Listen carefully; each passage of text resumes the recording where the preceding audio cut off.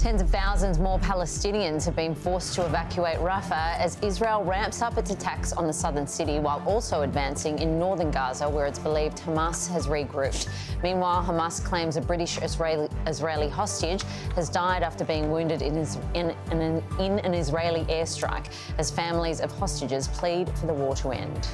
entering Rafah and expanding the operations there are both hinder the hostages release negotiation and put the hostages' lives in grave danger.